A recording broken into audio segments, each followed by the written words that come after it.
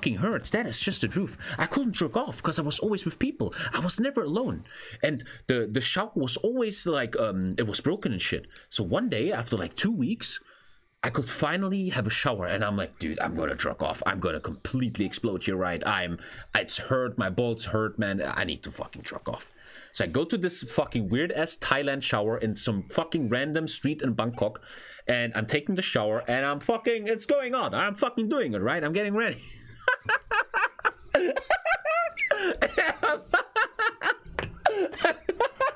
I'm fucking doing it, right? And I- I'm about to come. It's like, oh, okay, it's happening, it's happening. And I look down on my feet, and a huge ass cockroach walks into the shower just up the wall. And I'm like, I can't, I can't give a shit. And I just, bah, bah, bah. and the fucking cockroach is just watching me like, hey, dude, I don't care, man. I can't, I, dude, what can I do, man? And I just don't give a shit.